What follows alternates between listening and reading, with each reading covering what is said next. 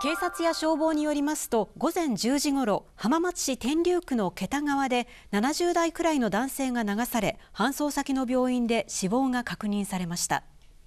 流されたのは浜松市内に住む70代の男性とみられていて関係者によりますと男性は川で鮎釣りをする際に必要な遊漁証を持っていたということです。